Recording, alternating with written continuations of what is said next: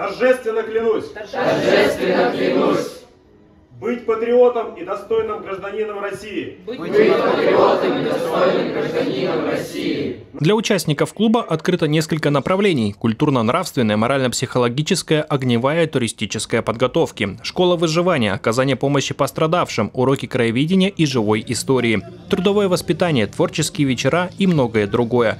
Важной составляющей всех занятий станет воспитание уважения к таким ценностям, как семья, братство, честь, долг, отвага и дружба.